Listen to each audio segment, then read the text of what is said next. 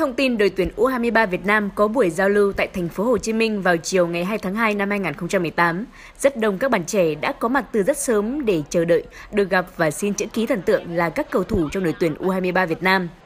Trong số đó có rất nhiều các bạn đã tự làm những tấm poster có in hình cầu thủ với mong muốn được thần tượng của mình ký tặng.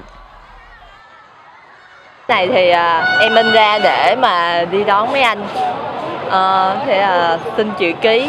Mấy tấm này là em ờ, đao từ trên mạng về cũng có từ ờ, Facebook cá nhân của mấy anh.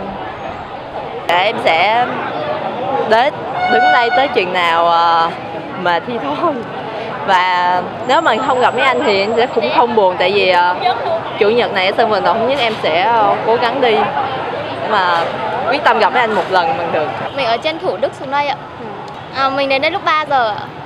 À, đến đây thứ nhất là được gặp thần tượng nè thứ hai là để xin chữ ký anh đó không không xin được thì nhìn bằng da bằng thịt cũng đủ hạnh phúc rồi anh một hai ba u hai ba fighting Cảm ơn các bạn đã theo dõi.